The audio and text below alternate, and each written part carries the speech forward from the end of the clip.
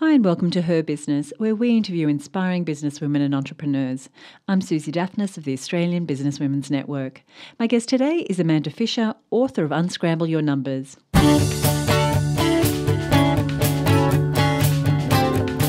Hi, this is Suzi, and today we're with Amanda Fisher, author of Unscramble Your Numbers. Now, if you want to better understand your business numbers, if you want to take control of your cash flow, and if you want to grow your business, then you're going to really enjoy today's episode. Amanda is a speaker, trainer, mentor that helps business owners to understand their numbers. She focuses on education and helps business owners make sense of those numbers. She's really able to distill complicated accounting principles into easy to understand English. In this interview, we're going to talk about how to, the numbers got scrambled in the first place and what that might look like in your business. We're going to talk about some of the biggest finance mistakes that most small business owners make and where to get started if you're not on top of your finances but you're really committed to growing your business. Now, just before we go into the interview, I want to talk about the F word, finances. Now, when I started my business, my background was marketing. I really didn't know a lot about finances, and for a while, I thought I'd be able to skate through anyway because my business partner was great with money and with numbers. But what became really obvious is that I couldn't really take ownership of my results and my future without getting a grasp on the financials. I had to stop abdicating responsibility and really take control. Let's go to the interview with Amanda, and after that, I'll tell you what I did to empower myself and to turn my business results around. You'll find information and links to the references made in this interview on our website at abn.org.au forward slash unscramble.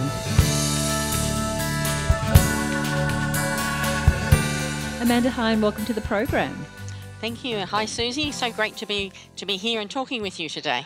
Today we're talking about the F word, finances. yep. and specifically your book, Unscramble Your Numbers, Unlock the Secrets to Your Business Cash Flow.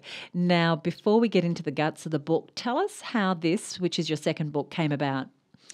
The I think what's happened is after over the last few years because we've got cloud technology working and, and uh, cloud accounting systems in place for a lot of people, they're getting their figures up to date more often. They're not waiting for the end of the quarter for the bookkeeper to come in. Mm-hmm. And what that means is they're seeing these numbers, but now they don't really know what to do with them or what they necessarily mean. And that's really why I wrote the book to try and help to unscramble those numbers so people can understand a little bit more about what those numbers are at a very simple level. Great. And, you know, the title of your book is great Unscramble Your Numbers, and you've given us some very good reasons. And now that our accounting software is online and in the cloud, that's causing some confusion. But is there something else that's making numbers scrambled for business owners generally? I think generally, you know, most most women go into business because they've got a great idea. They want flexibility of their working hours. Um, you know, they don't want to have a boss anymore. All sorts of those types of reasons. But none of them go into business because they're bookkeepers or accountants, or because they necessarily like and have an affinity for numbers. And I think what happens is that they we go into business thinking we're going to do well, etc., without having that basic layer of the finance. Okay, there's three kind of pillars of the business: the finance, the marketing, and the and the doing of the business itself. And I think you know, as I think is quite often through the ABN. Um, information that's provided through the network is there's a lot focused on the marketing area because it is a big area that's missing for most people. But this unspoken one is the finance one, which people just don't really want to talk about. Well, I'm glad we're talking about it today, and you bring up a good point. And you know, when we ask our community about their finances, um, it's not not always something people want to talk about, and, and, that's usually because there's either confusion or the numbers don't look that great, and they're struggling with lumpy cash flow or very uh, low cash flow. They don't know how to or don't have a budget. Just recently, we put something in our. We've got a private group for premium members, of which you're a member, and so you'll know about it. And it's coming up right as we're recording, coming up to the end of financial year. And so I put in there, you know, who's kind of working on their budget for the new year? Silence. and and it's disappointing, but I totally understand. And that's why we're here to help. And that's why you've written a book like this. So tell me. Uh, what are the biggest mistakes you see business owners make when it comes to their finances? I think the biggest thing is, in the first instance, thinking that the only reason you need to do your financial numbers is to report to the taxman. And that has been historically what's the case. But the, the numbers can be used to make business decisions if you have accurate figures up to date at the time. So I think the first mistake is considering it's only there for the taxman and not using the current technology. The second big mistake that I find is failing to set financial goals. Mm. So actually, and even the simple ones of I want to turn over, have sales of 50,000 or 100,000 this month or months, or I want to get two new clients in, or, you know, it doesn't need to be full blown budgets, although preferably it is, but at a simple level, just even a few of those targets that you set for yourself, because like anything, if you actually have a goal, it's amazing actually how how you we achieve them if we have them set.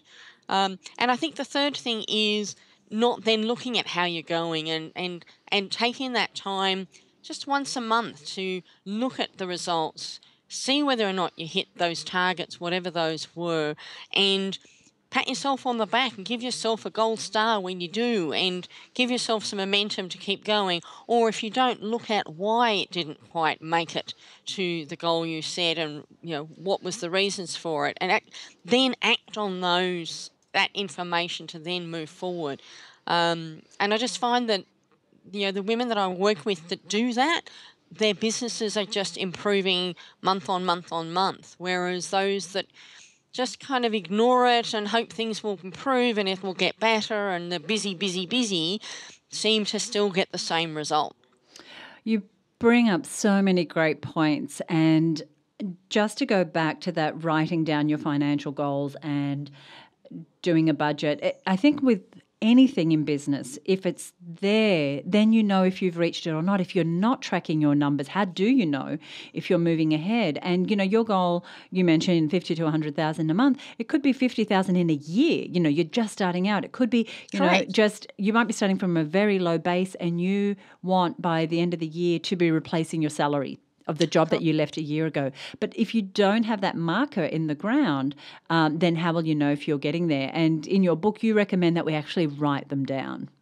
Correct, and I think you know one of the things when when when we start out in business in those very early days, you know that first marker to aim for is to get over the GST threshold of seventy five thousand dollars of income, because once you're over that threshold, you actually kind of feel that you're really in business, and I think part of the reason we don't like to talk about the numbers is we don't want to actually have to confess to other people that we are below the, the, the GST threshold or we, you know, that we're not doing as well on the outside. We all look very professional and successful, but what's going on behind the scenes is is a completely different story and it and it is one that comes with a bit of embarrassment and shame and, and all sorts of other emotions that come up, which make you want to kind of keep that very private to yourself. Mm. And that is a challenge that I faced working in a in a more public environment on these sorts of numbers is get people in a room together. They don't want to talk about it because it's their private thing. And who wants to confess to another group of, of, of people that you're actually not doing as well as you look like you're doing? Okay, that mm. is a great point. And the thing is that if we bury our head in the sand or we don't talk about it, that's not going to get us any better at it. So it's finding who, and I'll ask you in a moment about, you know, who should we be talking to about our finances. But one other thing I wanted to ask you, because I really believe that you can master anything that you understand. So understanding a language um, allows you to get mastery in that language. And what I mean is, I understand the language of marketing pretty well. And yep. if you do, then you understand call to actions and opt ins and lead magnets and landing pages and, you know, I, that language. And we'll, learning the language of finance is, is for some people a brand new thing. Now, what are some of the basics every business owner should know about their numbers? The basics in, uh, I think I look at what I call the three T's, and it's something I've I've, I've coined just recently, mm-hmm. and that's transactions, turnover, and take home. And it's looking at how many transactions are you doing, and that might be how many sales have you got, how many different how many clients are you working with, depending on the type of business, what the transaction numbers are. They then sort of flow into what the turnover is, which is sales or revenue or income. The problem with accounting is we have 10 different words that all basically mean the same thing, um, which also confuses everybody. And I think the big thing is what's your take home? And getting that take home to be a priority and not kind of what's left in the bank account at the end of the day. Um, and that's an important part where I see too many women in business where they're paying everything else and then getting to the end of the month and there's nothing left in the bank account for them and feeling like they've, you know, been doing all this work and there's nothing much for them. Uh, and and that's not what it's about. It is about, you know, getting financial fulfillment out of of the business at the same time. So those are uh, the sort of starting numbers I think that people need to think about. And it's just getting that initial understanding of how the numbers work. What's an expense? What's capital? What's what's deductible for tax purposes? What isn't deductible for tax purposes? And it there's there's a lot in it. But like marketing, there's a lot in marketing too and it's it's putting the time and effort into some education around those numbers. In a moment, I'm going to ask you where we should go for that education. Obviously, we want to pick up a copy of this book. But if we're in a hole around our finances, and that could be um, we've got a lot of money that's owed to us that we haven't collected. It could be we have no idea of when the next check is coming in. That's an old word, check, isn't it? Um, you, don't um, see many of those these days, no. you know, when the next lot of income's coming in. If we're in a hole, or we, it, we're just so confused that we've been burying our head, where do we start? I think the first point of call is to find a really good, compassionate accountant who can steer you along the path of getting some of those numbers under control. Now, it might also be a bookkeeper, depending upon the bookkeeper. Uh, some of the bookkeepers are a bit are more capable than just doing kind of what I call the data entry. Um, but it's really putting your hand up and saying, hey, I need some help. I, I see people come to me, which scares the life out of me, mm. that haven't done their, haven't lodged a BAS return, haven't lodged a tax return for three or four years buried in their head in the sand, have no idea what's going on, managed to survive, like, you know, but done nothing. Uh, and we start to pull back and and put in an automated accounting system to pull the history up to date and, and get it kind of up to date. But if the hole's one of, and it's kind of the chicken before the egg exercise where you've got, you're in a financial hole, you need help, but you're in a financial hole, which means you can't afford the help, mm. but then you can't afford not to have the help, and it's it's this you know uh, really awkward situation to be in. But but spending a little bit of money to get someone to help you and and to to identify what you need to be focusing on will pay itself off in spades because if you are in a hole, then yeah, if you don't know how to deal with it, you've got to get professional advice to get you out of it. Mm. And you know, and you make a great point. So it's meeting with your accountant, and then it's you know making sure you're getting educated. And there are a lot of resources available to get you started. And you'll you know depending on where you're at, you're going to need div- different levels of education. One of the things that really helped me uh, because I, I was telling you before we started recording, my background's in marketing. So when I started my business, finances wasn't really something I wanted to get my head around. But I knew that if I was going to be in business for the long term, I'd better figure figure out how to make it work for me. And so our financial advisors and our, our bookkeepers and our accountants have been really key to that. But also having a dashboard, a summary that I could look at on a daily basis, but also on a monthly basis. And I know there's a lot of talk about, you know, business metrics and dashboards and key performance indicators for financial, but without going too far down that uh, rabbit hole for people who might just be starting out, you know, what are the key metrics that should we should be looking at? I think the the the there is a lot of terminology around all that, and and if you think of a dashboard on a car, it's got well, the old ones did. They have a you know, the uh, they've got the speedometer, they've got um, some other rev meter. You know, they've got these various different dials. I think some of the newer cars are all, all a bit kind of number digital numbers, but the old cars had the dials, and that's basically what a dashboard is. And the beauty of a lot of the dashboards that are available today is you can um, customize them to exactly suit your business. So, depending upon the business, depends upon what the numbers are that to the numbers or the metrics, but the numbers to keep it simple are that you focus on. Yeah, one of the big ones has always got to be what's what's your turnover, what's the revenue. Uh, if you sell what you sell, uh, invoicing, then looking at what your accounts receivable, how much money is outstanding, when's it due in. That's obviously an important number because it will determine when you've next got money in the bank account. Um, but it's also looking at specific ones that are individual to the business, and it may include, should include, in fact, some marketing numbers as well. How many leads have you got? What's your what's your conversion on your leads? Um, those types of numbers come into it as well. So it's not just the the financial numbers that are important to be watching on a dashboard, but it's also what are the marketing numbers that you need to be focusing on. If you know if you if you know you've got to talk to ten people to get one client on board to get a two hundred dollar sale, then how many ten people are you talking to to get that one sale? Um, those numbers are, are just as important mm. as how much money is in the bank and how much money is owed to you and are you making your profit margin uh, in terms of the markup on the costs of what you're selling, whether it's hours or widgets, that, that you're actually making a, a profit out of the sale price compared to the cost. Mm. One of the things that I found um, really helps is to be accountable to someone for um, what we're doing in our business around numbers. And ultimately, we're responsible for our results. But how do we set up ways to be held accountable for mastering our money? I think there's there's a number of ways that uh, that work really well, and for most of us, the, the accountability is best with somebody else, somebody who's not in the business, right. who you arrange a regular, probably monthly get together, whether it's phone or Skype or in person, doesn't matter. Um, accountants do do it. Some accountants do do it. Uh, bookkeepers do it.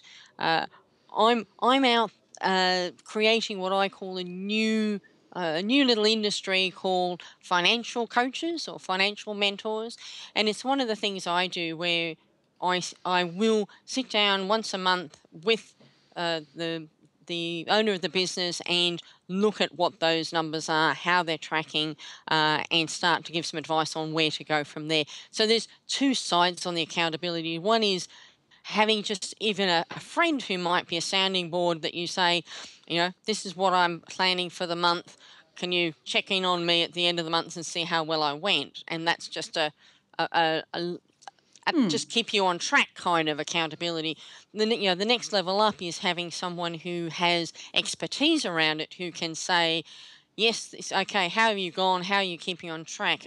And now let's look at what's gone wrong, what's gone well, what what's going to be happening in the next coming month. How can you improve it? How can you change it? Uh, and getting that advice level at the same time as being being held accountable. And I think you know there's those so the two levels depending upon uh, where you're up to in in your business as to what works. Okay, great. Well, we're going to give everyone details so that they can uh, be in contact with you. Con- big congratulations on the book. Thank you so much for joining us on the show. Is there anything you'd like to leave us with? I think the main thing is don't be afraid of the new technology that's around. Embrace it. Get your accounts up to date automatically, easily set those financial goals and put aside a time once a month, even if it's just 20 minutes, half an hour, once a month to look at your numbers and just see how you're tracking. The book is Unscramble Your Numbers Unlock the Secrets to Your Business Cash Flow. Amanda, thank you so much for being with us. You're welcome. Thank you so much.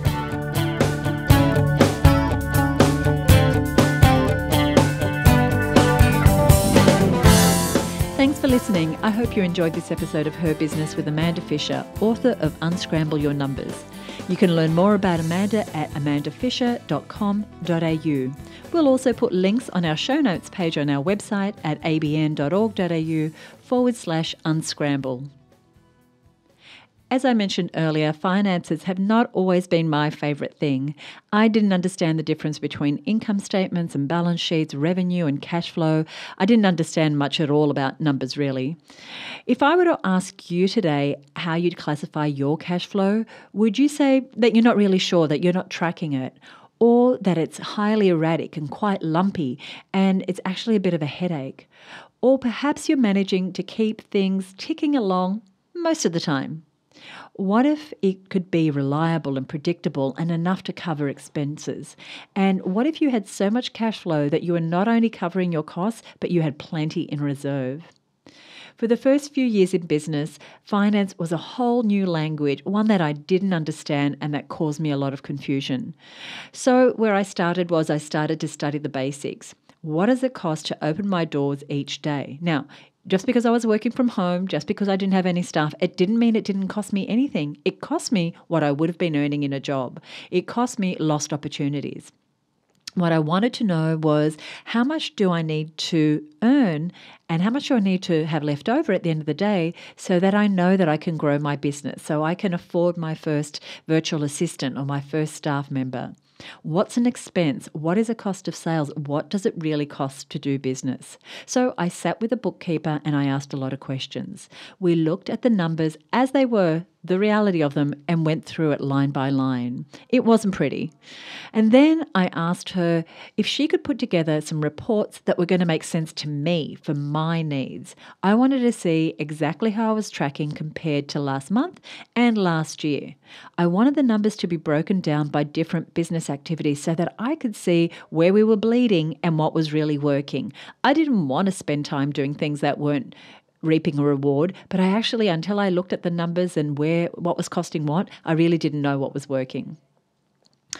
I forced myself to do a budget, and the first budget was really painful. Everyone after that has been much, much easier. And then every month I checked how I did that month against the budget.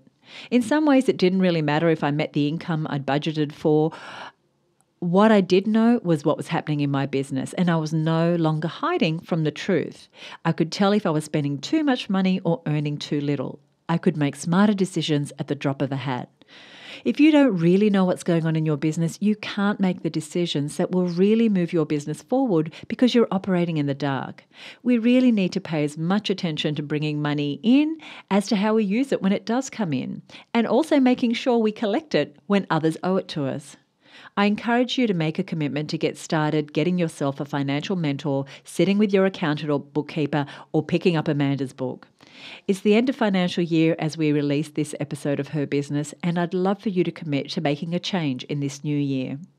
Finances is still not my favourite thing. I'd sooner have my head buried in a marketing campaign any day. But I've got them under control, and that focus has made the biggest difference to my business and the profitability of that business.